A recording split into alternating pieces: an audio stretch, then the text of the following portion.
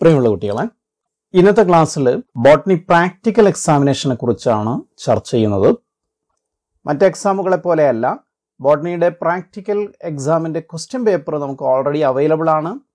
അപ്പോൾ ആ ക്വസ്റ്റ്യൻ പേപ്പറും അതിന്റെ ആൻസറുമാണ് നമ്മളിവിടെ ഡിസ്കസ് ചെയ്യുന്നത് ഇന്നത്തെ ക്ലാസ്സിൽ. എക്സാമിന്റെ time one and half hours ആണ് ഒന്നര മണിക്കൂറാണ്. ടോട്ടൽ സ്കോർ ട്വന്റി ആണ്. സുവോളജിയിലും ട്വന്റി ഉണ്ടായിരിക്കും അങ്ങനെ ബയോളജിയിൽ ടോട്ടൽ ഫോർട്ടി ഫസ്റ്റ് ക്വസ്റ്റനിലേക്ക് പോകുന്നു. Prepare A T S of the given specimen A തന്നിരിക്കുന്ന എ എന്ന സ്പെസിമെന്റെ ടി എസ് എടുക്കുക. ടി എസ് എന്ന് പറഞ്ഞാൽ ട്രാൻസ്ഫർ സെക്ഷൻ എടുക്കുക. ആൻഡ് ഐഡന്റിഫൈ ഗിവിംഗ് റീസൺസ് അത് ഏതാണെന്ന് കണ്ടെത്തുക. റീസൺസ് എഴുതുക. കാരണങ്ങൾ എഴുതുക. Draw the ground plan and label the parts അതിന്റെ ഡയഗ്രാം വരയ്ക്കുക. ഗ്രൗണ്ട് പ്ലാൻ ആണ് ഇവിടെ വരയ്ക്കേണ്ടത്. ആൻഡ് ലാബൽ ദ പാർട്സ് ഭാഗങ്ങൾ അടയാളപ്പെടുത്തുക. Leave the preparation for valuation ആ പ്രിപ്പറേഷൻ വാല്യൂഷന് വേണ്ടിയിട്ട് വയ്ക്കുക അഞ്ച് സ്കോറാണ് ഈ ക്വസ്റ്റ്യൻ ഉള്ളത് ബോട്ടണിയിലെ പ്രധാനപ്പെട്ട പ്രാക്ടിക്കൽ എന്ന് പറയുന്ന ഇതാണ്. അനാറ്റമി പ്രാക്ടിക്കലാണ് ഇവിടെ ഉദ്ദേശിക്കുന്നത്. അപ്പം എ എന്ന് പറയുന്നത് ഡൈക്കോഡ് സ്റ്റെമ്മോ മോണോക്കോഡ് സ്റ്റെമ്മോ അല്ലെങ്കിൽ മോണോക്കോഡ് റൂട്ടോ ആവാം. ഈ വർഷത്തെ എക്സാമിന് ഒരു സ്റ്റെമ്മും ഒരു റൂട്ടും വേണമെന്നാണ് പറയുന്നത്. അപ്പൊ നമുക്ക് സാധാരണ ഉപയോഗിക്കാവുന്ന രണ്ട് മെറ്റീരിയൽസ് ആണ് ഒന്ന് ഡൈക്കോട്ട് സ്റ്റെമ്മും മറ്റൊന്ന് മോണോക്കോട്ട് റൂട്ടും അപ്പൊ അത് രണ്ടുമാണ് ഇവിടെ ഡിസ്കസ് ചെയ്യുന്നത്. സ്കൂളുകളുടെ സാഹചര്യം അനുസരിച്ച് വ്യത്യാസം ഉണ്ടാവാം. അപ്പൊ എ എന്ന് പറയുന്ന മെറ്റീരിയൽ കിട്ടിയാൽ നിങ്ങൾ ആദ്യം ചെയ്യേണ്ടതിന്റെ സെക്ഷൻ എടുക്കുകയാണ് വേണ്ടത്. സെക്ഷൻ എടുക്കുന്നത് എങ്ങനെയെന്ന് സ്കൂളിൽ പഠിപ്പിക്കും. സെക്ഷൻ എടുത്തു കഴിഞ്ഞാൽ തിൻ സെക്ഷൻ കിട്ടിക്കഴിഞ്ഞാൽ കനം കുറഞ്ഞ സെക്ഷൻ കിട്ടിക്കഴിഞ്ഞാൽ അത് സ്റ്റെയിൻ ചെയ്യണം. സ്റ്റെയിൻ ചെയ്തതിനു ശേഷം ഗ്ലിസറിൽ മൗണ്ട് ചെയ്യണം. അത് ഗ്ലാസ് ലൈനിൽ വെച്ചുകൊണ്ട് മൈക്രോസ്കോപ്പിൽ ഒബ്സർവ് ചെയ്യണം. എന്നിട്ട് മെറ്റീരിയൽ ഏതാണെന്ന് ഐഡന്റിഫൈ ചെയ്യണം. അതിന്റെ റീസൺസ് എഴുതണം. ഡയഗ്രാം വരയ്ക്കണം. ഗ്രൗണ്ട് പ്ലാനാണ് ഡയഗ്രാം വരയ്ക്കേണ്ടത്. ഇപ്പോൾ ഇവിടെ കനം കുറഞ്ഞ സെക്ഷൻ തയ്യാറാക്കുന്നതിന് രണ്ട് സ്കോറാണ്. ലാബിന്റെ ഡയഗ്രത്തിന് ഒന്നര സ്കോറാണ്. ഏതാണെന്ന് കണ്ടെത്തുന്നതിന് ഹാഫ് സ്കോറാണ്. ഇപ്പൊ ഈ വർഷം ഇത് കണ്ടെത്തൽ വളരെ എളുപ്പമാണ്. മുൻ വർഷങ്ങളിലൊക്കെ ആണെങ്കിൽ അനാറ്റമി നോക്കി തന്നെ കണ്ടെത്തണമായിരുന്നു. ഈ വർഷം ഒരു സ്റ്റെമ്മും ഒരു റൂട്ടും മാത്രമായതുകൊണ്ട് പുറമേ നിന്ന് കണ്ടാൽ തന്നെ നമുക്ക് തിരിച്ചറിയാം. സ്റ്റെമ്മാണെങ്കിൽ ഒരു ലൈറ്റ് ഗ്രീൻ കളറിൽ കാണാം. റൂട്ടാണെങ്കിൽ വൈറ്റ് കളറിൽ അല്ലെങ്കിൽ ക്രീം കളറിൽ ലൈറ്റ് യെല്ലോ കളറിലൊക്കെ ആയിട്ട് കാണാം. റീസൺസ് എഴുതുന്നതിന് വൺ സ്കോർ അപ്പൊ ആദ്യമായിട്ട് ഡൈക്കോട്ട് സ്റ്റെമ്മിലേക്കാണ് പോകുന്നത്. സാധാരണ ഉപയോഗിക്കാറുള്ള മെറ്റീരിയൽ സെൻഡല്ല അല്ലെങ്കിൽ മുത്തുൾ. അത് കിട്ടാത്തവർ യൂപ്പറ്റോറിയം അല്ലെങ്കിൽ കമ്മ്യൂണിസ്റ്റ് എപ്പ കമ്മ്യൂണിസ്റ്റ് പച്ച എന്നൊക്കെ പറയുന്നത് ഉപയോഗിക്കാറുണ്ട്. അപ്പോൾ ഈ ഗ്രൗണ്ട് പ്ലാന് ഇതുപോലെ വരയ്ക്കുക. ഭാഗങ്ങൾ അടയാളപ്പെടുത്തുക. ഏറ്റവും പുറമെയായിട്ട് എപ്പിഡെർമിസ് എന്ന് പറഞ്ഞ ഒരു ലെയർ വരയ്ക്കുക. അതിനുള്ളിൽ കോട്ടക്സ് ആണ്. കോട്ടക്സിൽ ആദ്യമായിട്ട് കോളം കൈമ കാണിക്കുക പിന്നീട് ക്ലോറൻ കൈമ ക്ലോറോഫിൽ അടങ്ങിയിട്ടുള്ള പിന്നീട് പാരങ്കൈമ കൈമ ഇത് കഴിഞ്ഞിട്ട് വാസ്കുലാർ ബണ്ടിൽസ് കാണിക്കുക വാസ്കുലാർ ബണ്ടിൽസ് ഇവിടെ ഒരു ബ്രോക്കൺ റിങ് പോലെയാണ് ക്രമീകരിച്ചിരിക്കുന്നത്. വാസ്കുലാർ ബണ്ടിൽസ് കൺജോയിന്റ് ആണ് കൊളാട്രൽ ആണ്. കൺജോയിന്റ് എന്ന് പറഞ്ഞാൽ സൈലം ഫ്ലോയം ഒരേ റേഡിയസിലായിട്ട് കാണാം.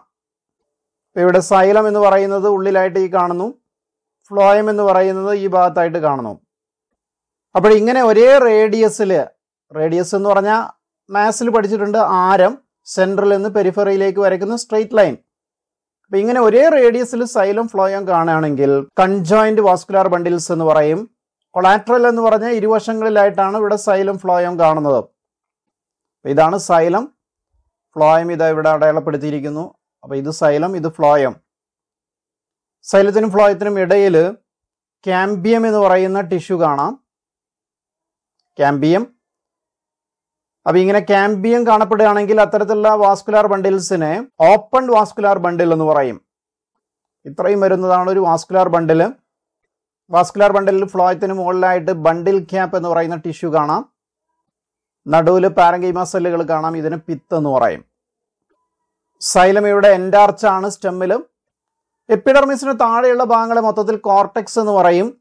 കോർട്ടെക്സ് സ്റ്റെമ്മിൽ ഹെറ്റിറോജീനസ് ആയിരിക്കും എന്ന് പറഞ്ഞ വ്യത്യസ്ത ടിഷ്യൂസ് കൊണ്ടുണ്ടാക്കിയിരിക്കും കണ്ടോ ഇവിടെ കോളങ്കൈമ ക്ലോറങ്കൈമ പാരങ്കൈമ എന്നിങ്ങനെ വ്യത്യസ്ത തരത്തിലുള്ള ടിഷ്യൂസ് കൊണ്ടാണ് ഉണ്ടാക്കിയിട്ടുള്ളത്.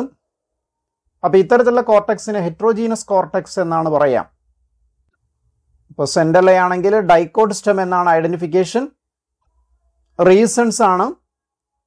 സ്റ്റെം ആണെങ്കിൽ conjoint and collateral vascular bundles. Vascular bundles conjoint ആണ് കൊളാറ്ററൽ ആണ്. എൻഡാർച്ച് ആണ് സൈലം കോർട്ടക്സ് ഹെറ്ററോജീനസ് ആണ്. Heterogeneous cortex so it is a stem അതുകൊണ്ട് ഇതൊരു സ്റ്റെം ആണെന്ന് എഴുതാം.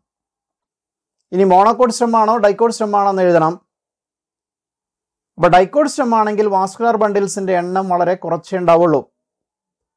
നമുക്ക് എണ്ണി തിട്ടപ്പെടുത്താവുന്നതാണ്. Vascular bundles are limited in number vascular bundles പരിമിതമായ എണ്ണമാണുള്ളത്. Vascular bundles are arranged in broken ring manner ഒരു പൊട്ടിയ റിങ് പോലെയാണ് വാസ്കുലർ ബണ്ടിൽസ് ക്രമീകരിച്ചിരിക്കുന്നത്. Sixth one vascular bundles are open vascular bundles open ആണ് എന്ന് പറഞ്ഞാൽ ക്യാമ്പിയം കാണാം സൈലത്തിനും ഫ്ലോയത്തിനും ഇടയിൽ so it is a dicot stem അതുകൊണ്ട് ഇതൊരു ഡൈക്കോഡ് സ്റ്റെം ആണ്. അപ്പോ ഒന്നാമത്തെ ക്വസ്റ്റ്യന് നമുക്ക് തരാൻ സാധ്യതയുള്ള രണ്ട് മെറ്റീരിയലിൽ ഒന്ന് ഡൈക്കോഡ് സ്റ്റെം ആണ്. അതാണ് പറഞ്ഞു കഴിഞ്ഞ് രണ്ടാമത്തെ മോണോക്കോഡ് റൂട്ടാണ് റൂട്ട് നമ്മൾ പുറമേ നിന്ന് കണ്ടാൽ തന്നെ നമുക്ക് തിരിച്ചറിയാം. വേരാണെങ്കിൽ അത് വെളുത്ത കളറിലായിരിക്കും. അല്ലെങ്കിൽ ക്രീം കളറിലായിരിക്കും. ലൈറ്റ് യെല്ലോ കളറിലൊക്കെ ആയിരിക്കും. സാധാരണ നമ്മൾ ഉപയോഗിക്കാറുള്ളത് ചേമ്പിന്റെ വേരാണ്. കൊളക്കേഷ്യയുടെ റൂട്ട് റൂട്ടിനും ഏറ്റവും പുറമെയായിട്ട് എപ്പിഡെർമിസ് ഉണ്ടായിരിക്കും. എപ്പിഡെർമിസ് എന്ന് റൂട്ട് ഹെയേഴ്സ് നാര് പോലെ കാണാം. എപ്പിഡെർമിസിനെ പൈലിഫിയറസ് ലെയർ എന്നും പറയാറുണ്ട്. ദെൻ അതിനുള്ളിലായിട്ട് കോർട്ടക്സ് കാണാം. കോർട്ടക്സ് എല്ലാം പാരങ്കീമ സെല്ലുകൾ കൊണ്ടാണ് ഉണ്ടാക്കിയിട്ടുള്ളത്. അതുകൊണ്ട് സ്റ്റെമ്മിൽ നിന്ന് വ്യത്യസ്തമായിട്ട് ഇവിടെ ഹോമോജീനസ് കോർട്ടക്സ് ആണ്. ദെൻ കോർട്ടക്സിന്റെ ഇന്നർമോസ്റ്റ് ലെയർ ആണ് എൻഡോഡർമിസ് അപ്പോൾ എൻഡോഡർമിസ് എന്ന് പറയുന്ന ലെയർ വരയ്ക്കണം. അതിനുള്ളിൽ വീണ്ടും ഒരു ലെയർ വരയ്ക്കണം. അതിനെ പെരിസൈക്കിൾ എന്ന് പറയും. അതിനുള്ളായിട്ട് വാസ്കുലാർ ടിഷ്യൂസ് വരയ്ക്കണം. വാസ്കുലർ ടിഷ്യൂസ് ഇവിടെ റേഡിയൽ ആയിട്ടാണ് അറേഞ്ച് ചെയ്തിരിക്കുന്നത്. എന്ന് പറഞ്ഞാൽ വ്യത്യസ്ത റേഡിയസിലായിട്ടാണ് അറേഞ്ച് ചെയ്തിരിക്കുന്നത്. അതായത് സൈലം ഒരു ഗ്രൂപ്പായിട്ടും ഫ്ലോയം വേറെ ഗ്രൂപ്പായിട്ടാണ്. ഇവിടെ ഈ കാണുന്നതാണ് സൈലം. അതിനെ ആൾട്ടർനേറ്റ് ചെയ്തുകൊണ്ട് അതിന് തൊട്ടപ്പുറത്തായി കൊണ്ട് ഫ്ലോയത്തിന്റെ ഒരു ഗ്രൂപ്പ് കാണാം. അപ്പോൾ സൈലം ഫ്ലോയും ഇത്തരത്തിൽ വ്യത്യസ്ത റേഡിയസുകളായിട്ടാണ് ക്രമീകരിച്ചിരിക്കുന്നതെങ്കിൽ അതിനെ റേഡിയൽ അറേഞ്ച്മെന്റ് എന്ന് പറയാം. ഇപ്പോൾ ഈ ഒരു റേഡിയസിൽ സൈലം മാത്രമേ ഉള്ളൂ. അതേസമയം ഈ ഒരു റേഡിയസിൽ ഫ്ലോയം മാത്രമേ ഉള്ളൂ. അപ്പൊ ഇങ്ങനെ സൈലം ഫ്ലോയം വ്യത്യസ്ത റേഡിയസിലായിട്ട് അറേഞ്ച് ചെയ്യുകയാണെങ്കിൽ അതിന് നമ്മൾ റേഡിയൽ അറേഞ്ച്മെന്റ് എന്ന് പറയും. ഇനി സൈലം ഇവിടെ എക്സാർച്ച് അറേഞ്ച്മെന്റ് ആണ്. എന്ന് പറഞ്ഞാൽ മെറ്റാസൈലം വലിപ്പം കൂടിയ സൈലം സെൻട്രലിലേക്ക് പോയിന്റ് ചെയ്തും കൊണ്ടും. പ്രോട്ടോസൈലം അല്ലെങ്കിൽ ഫസ്റ്റ് ഫോംഡ് സൈലം വലിപ്പം കുറഞ്ഞ സൈലം പെരിഫറിയിലേക്ക് പോയിന്റ് ചെയ്തും കൊണ്ടുമാണ്. ദെൻ വലിയ പിത്ത് കാണാം ഇവിടെ. അപ്പൊ നടുവിലായിട്ട് പാരഗൈമ സെല്ലുകൾ ഉണ്ട് ഇതിനെ പിത്ത് എന്ന് പറയാം. As monocot root കൊളക്കേഷ്യയാണ് example radial vascular bundles vascular bundles radial ആയിട്ടാണ് അറേഞ്ച് ചെയ്തിരിക്കുന്നത്. വ്യത്യസ്ത റേഡിയസുകളിലാണ് എക്സാർച്ച് സൈലം സൈലം എക്സാർച്ച് ആണ്. മെറ്റാസൈലം സെൻട്രലിലേക്കും പ്രോട്ടോസൈലം പെരിഫറിയിലേക്കാണ് ക്രമീകരിച്ചിരിക്കുന്നത്. ഹോമോജീനസ് കോട്ടക്സ് കോട്ടക്സ് ഒരേ തരത്തിലുള്ള സെല്ലുകൾ കൊണ്ടാണ് ഉണ്ടാക്കിയിരിക്കുന്നത്. So it is a root അതുകൊണ്ട് ഇതൊരു റൂട്ടാണ്. അപ്പോൾ ഇത് നേരത്തെ നമ്മൾ സ്റ്റെമ്മിന് പഠിച്ചതിന്റെ ഓപ്പോസിറ്റ് ക്യാരക്ടേഴ്സ് ആണ്. അവിടെ കൺജോയിന്റ് ആൻഡ് കൊളാറ്ററൽ ആയിരുന്നു വാസ്കുലർ ബണ്ടിൽസ് അതിന് പകരമായിട്ട് ഇവിടെ റേഡിയൽ അവിടെ എൻഡാർച്ച് ആയിരുന്നു സൈലം അതിന് പകരം ഇവിടെ എക്സാർച്ച് അവിടെ ഹെറ്ററോജിയൻസ് ആയിരുന്നു കോർട്ടെക്സ് അതിന് പകരം ഇവിടെ ഹോമോജിയൻസ് ആയിരുന്നു കോർട്ടെക്സ് ഇനി മോണോക്കോട്ട് റൂട്ട് എന്നുള്ളതിനുള്ള തെളിവ് എന്തൊക്കെയാണ്? Xylem and phloem groups are numerous in number. Xylem phloem ഗ്രൂപ്പുകൾ കൂടുതൽ എണ്ണം കാണാം. നേരത്തെ ലിമിറ്റഡ് എണ്ണമായിരുന്നു. പിത്ത് ഈസ് ലാർജ് പിത്ത് വലുതാണ്. Round or oval outline of xylem. Xylem വട്ടത്തിൽ അല്ലെങ്കിൽ ഓവൽ ഷേപ്പിലായിട്ടാണ് കാണുന്നത്. So it is a monocot root അതുകൊണ്ട് ഇതൊരു മോണോക്കോട്ട് റൂട്ടാണ് അപ്പൊ ഇത്രയുമാണ് first question identify the material C at side by giving reasons C എന്ന് പറയുന്ന മെറ്റീരിയൽ ഐഡന്റിഫൈ ചെയ്യുക റീസൺസ് എഴുതുക ഒരു സ്കോറാണ് ഇത് സ്പോട്ടഡ് സൈറ്റ് എന്നാണ് പറയുന്നത്. എന്ന് പറഞ്ഞാൽ നമ്മുടെ സീറ്റിലിരുന്ന് എഴുതാൻ പറ്റില്ല. അത് സ്പോട്ടർ പ്രത്യേക സ്ഥലത്ത് വെച്ചിരിക്കും. അവിടെ പോയി ഒബ്സർവ് ചെയ്ത് എഴുതണം സെപ്പറേറ്റ് ആൻസർ ഷീറ്റിൽ ഇപ്പോൾ സി എന്ന് പറയുന്നത് ബയോടെക്നോളജി ഫോട്ടോഗ്രാഫ്സ് ആണ്. അത് ഐഡന്റിഫൈ ചെയ്യുന്നതിന് ഹാഫ് സ്കോറാണ് ബയോടെക്നോളജി ഫോട്ടോഗ്രാഫ്സ് എന്ന് പറഞ്ഞാൽ ഒന്നെങ്കിൽ ബയോറിയാക്ടർ ആയിരിക്കാം. അല്ലെങ്കിൽ ക്ലോണിംഗ് വെക്ടർ ആയിരിക്കാം. അല്ലെങ്കിൽ ബി ടി കോട്ടൺ ആയിരിക്കാം. റീസൺസ് എഴുതുന്നതിന് ഹാഫ് സ്കോർ അപ്പോൾ മൂന്നെണ്ണം സാധ്യതയുള്ളത്. ഈ ചിത്രമാണെങ്കിൽ ബയോറിയാക്ടർ എന്ന് എഴുതാം. അതിന്റെ ഒന്നോ രണ്ടോ ക്യാരക്ടേഴ്സ് എഴുതാം. എന്താ ബയോറിയാക്ടർ എന്ന് പറഞ്ഞാൽ it is a large vessel use to produce specific products specific ആയിട്ടുള്ള പ്രോഡക്ട്സ് പ്രൊഡ്യൂസ് ചെയ്യാൻ വേണ്ടി ഉപയോഗിക്കുന്ന വലിയ പാത്രങ്ങളെയാണ് ബയോറിയാക്ടർ എന്ന് പറയുന്നത്.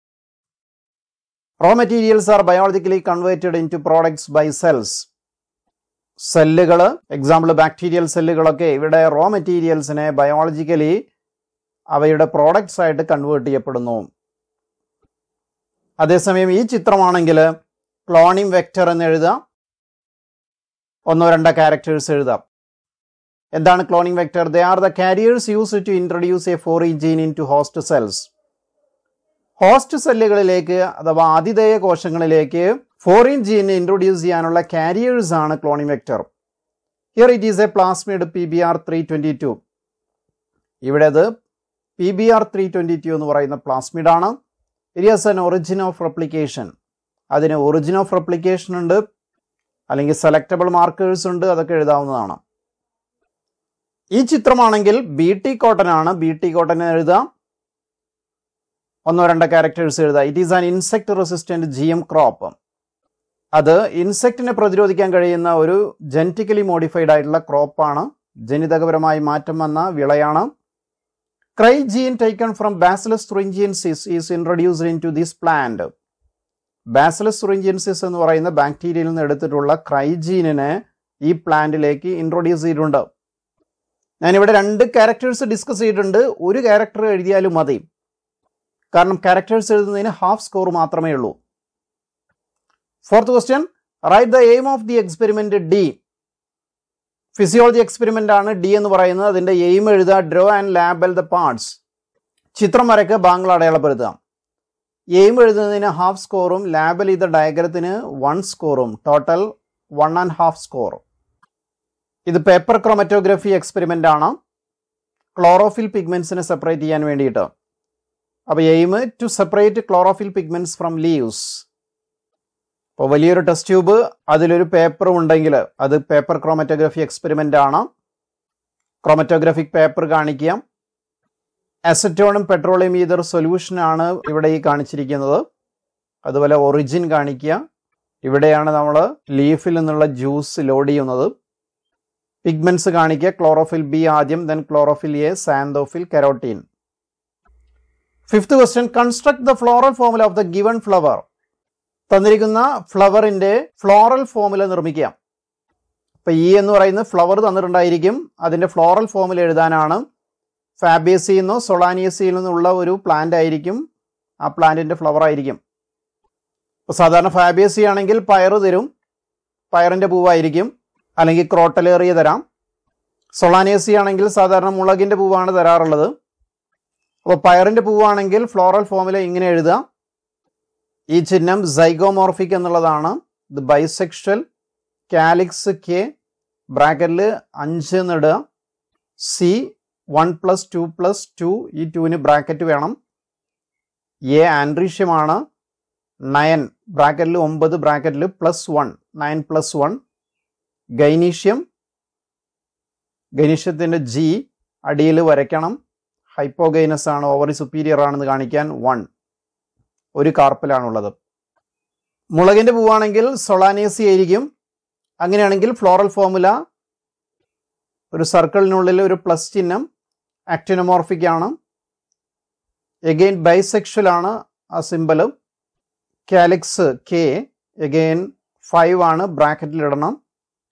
കൊറോള സി ബ്രാക്കറ്റിൽ ഫൈവ് അപ്പം നേരത്തെയാണെങ്കിൽ one plus two plus two എന്നായിരുന്നു എഴുതിയിരുന്നത്. അതിന് പകരം ഇവിടെ ഫൈവ് ആൻഡ്രീഷ്യം എ ഫൈവ് ആണ്.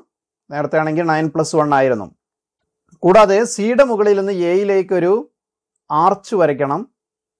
സ്റ്റേമെൻസ് കൊറോളയുമായിട്ട് അറ്റാച്ച് ചെയ്തിരിക്കുന്നു എന്ന് കാണിക്കാനാണത്.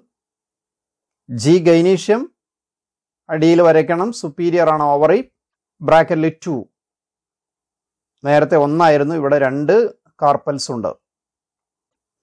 ദെൻ സിക്സ് ക്വസ്റ്റ്യൻ എഫ് എന്ന് പറയുന്നത് ഇക്കോളജിക്കൽ ഇൻട്രാക്ഷൻ എഴുതാനാണ്. മൂന്ന് ഇക്കോളജിക്കൽ ഇൻട്രാക്ഷൻസ് ആണ് നമുക്ക് പഠിക്കാനുള്ളത്. മ്യൂച്വലിസം പാരസൈറ്റിസം കമൻസാലിസം പക്ഷേ ഈ പരീക്ഷയ്ക്ക് ഏതെങ്കിലും രണ്ടെണ്ണമാണ് പഠിക്കേണ്ടുള്ളൂ. അപ്പോൾ സാധാരണ വയ്ക്കാവുന്ന ഒന്ന് ലൈക്കൻസ് ആണ്. ലൈക്കൻ ആണെങ്കിൽ മ്യൂച്വലിസം അതേസമയം ഇത്തിൾ കണ്ണി അഥവാ ലൊറാന്തസ് അല്ലെങ്കിൽ കസ്ക്യൂട്ട മൂടില്ലാത്ത ആളി. ഇതൊക്കെയാണെങ്കിൽ പാരസൈറ്റിസം. ദെൻ വാൻഡ് അഥവാ മരവാഴയാണെങ്കിൽ കമൻസാലിസം.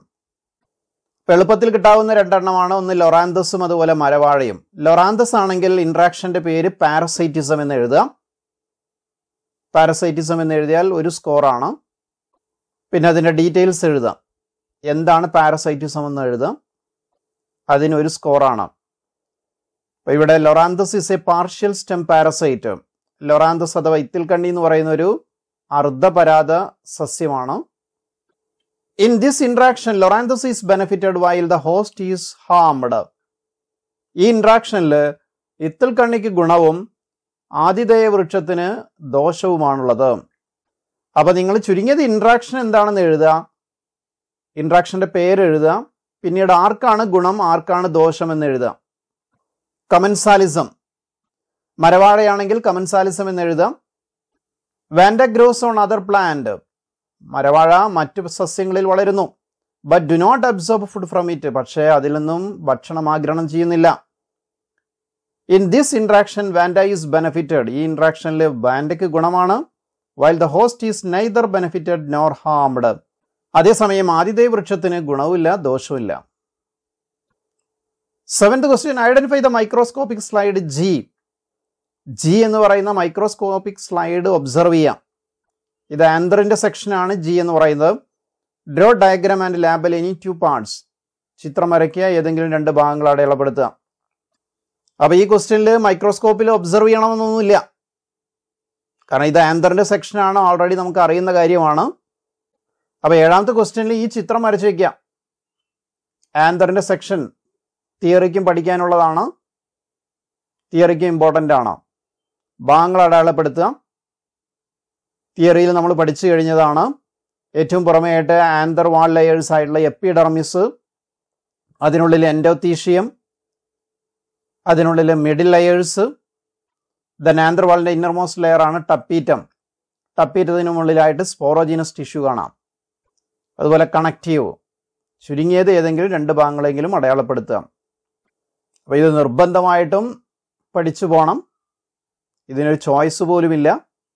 അപ്പോൾ ആൻസർ ഷീറ്റ് കിട്ടിയാൽ ഉടനടി നമുക്ക് എഴുതാവുന്ന ഒരു ചോദ്യം കൂടിയാണ്. ഈ ഒരു ചിത്രം നിർബന്ധമായിട്ടും വരും. അപ്പോൾ ഇത്രയാണ് നമ്മൾ എഴുതേണ്ടതും ചെയ്യേണ്ടതും കാര്യങ്ങൾ. ദ എയ്ത്ത് ക്വസ്റ്റ്യൻ എന്ന് പറയുന്നത് ആണ്.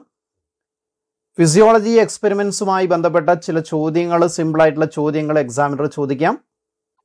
അപ്പോൾ ഫിസിയോളജി എക്സ്പെരിമെൻസിനെ കുറിച്ച് ചെറുതായിട്ട് നിങ്ങൾ പഠിച്ചു വെക്കാം സിമ്പിളായിട്ടുള്ള ചോദ്യങ്ങളെ ചോദിക്കുകയുള്ളൂ. നിങ്ങളെ ബുദ്ധിമുട്ടിക്കില്ല. അതിനൊരു സ്കോറാണ് നയൻത് ക്വസ്റ്റ്യൻ പ്രാക്ടിക്കൽ ഡയറി ആണ്. റെക്കോർഡ് വരയ്ക്കുക റെക്കോർഡ് സബ്മിറ്റ് ചെയ്യുക. അതിന് മൂന്ന് സ്കോറാണ് അപ്പോൾ ഏഴ് ചോദ്യങ്ങളാണ് നിങ്ങൾ ആൻസർ ചെയ്യേണ്ടതുള്ളൂ. ദെൻ നേരത്തെ പറഞ്ഞതിന്റെ പോയിന്റഡ് ആയിട്ടുള്ള നോട്ട്സ് നമ്മുടെ ബ്ലോഗിൽ ലഭ്യമാണ്. ഫ്ലോറവിഷൻ എന്ന് പറയുന്ന ബ്ലോഗിൽ അതിന്റെ അഡ്രസ്സാണ് T P Abdul Gafoor dot blogspot dot com ഈ കാര്യങ്ങൾ പഠിച്ചു പോയാൽ നിങ്ങൾക്ക് ഫുൾ സ്കോർ നേടാവുന്നതാണ്. അപ്പോൾ കുറച്ച് ശ്രദ്ധിച്ചു കഴിഞ്ഞാൽ പ്രാക്ടിക്കൽ ബോട്ടണിയുടെ ട്വന്റി സ്കോർ ഇരുപതിൽ ഇരുപത് സ്കോറും നിങ്ങൾക്ക് നേടാവുന്നതാണ്. അപ്പോൾ അല്പമൊന്ന് പഠിക്കാം. Okay thank